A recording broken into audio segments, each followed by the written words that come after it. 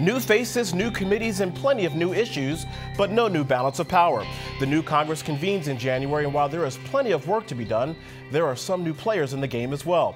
Hello, everyone, and welcome to Comcast Newsmakers. I'm Robert Traynham, and I'm joined by Caitlin Huey Burns, reporter for Real Clear Politics. Caitlin, welcome to the program. Thanks for having me. So, we heard all of the debates over the last two years. We heard about the billions, if not hundreds of millions of dollars of money being spent uh, in the past election, but the Congress looks almost exactly the same, especially in the House, right? Mm -hmm. Right, and we have the same leaders on both sides. Nancy Pelosi will lead the Democrats. Uh, John Boehner will lead um, the Speaker, the of, the Speaker of the House, and and give or take about ten or so seats. Um, Republicans kept their majority, uh, their big, large majority, uh, in the House of Representatives. Is there any new agenda items that we should be looking at in this new Congress? The 113th, by the way.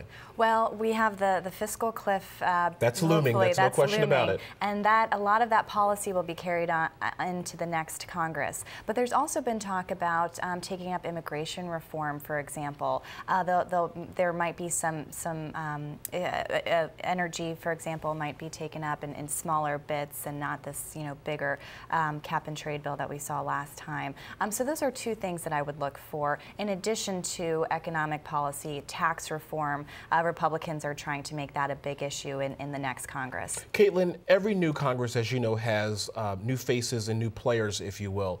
Um, given the fact that this new Congress almost looks the same, will there be any new players that we should take a look at? Obviously, yes. Paul Ryan um, yes. was the vice presidential pick on the Republican side. Can we yes. see him playing a larger role? Y yes, and he'll be back as the budget chairman uh, in the next Congress. And so he has been in these meetings talking about um, how to, to work out the, some kind of fiscal cliff deal. So sure. he'll be a player there.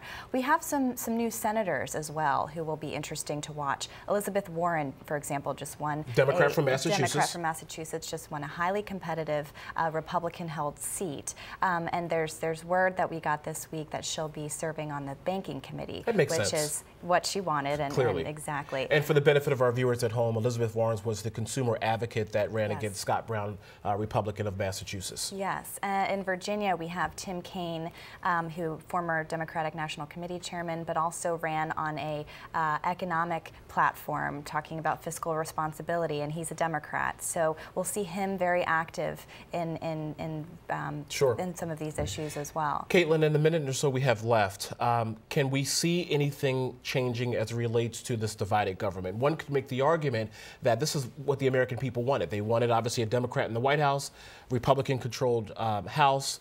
Democratic controlled Senate, or can we see perhaps maybe more compromise because the American people said that's exactly what we want more compromise? I guess my question is should we see more divided government or more compromise over the next year? Well, if any of these talks over the fiscal cliff have been any indication, it's, it's going to still be tough. I mean, you can't just expect everybody to all of a sudden get along and, and, and work together on, on these but kinds of issues. But isn't that what they're paid to do, but though? That's, and that's what, what, Republic, uh, what voters said in a lot of these exit polls, that they elected a divided Congress for a reason. Now, because a lot of the same members are returning, I think we'll see um, the same kind of dynamic. But we're also, we also saw um, in, in a couple people who lost seats were moderate uh, members. Like Scott Brown. For example, exactly. Um, and a couple people on, on the House side, a couple really moderate Democrats lost to some more conservative Republicans. So I think we'll, we might see an even bigger divide there. All right. So in other words,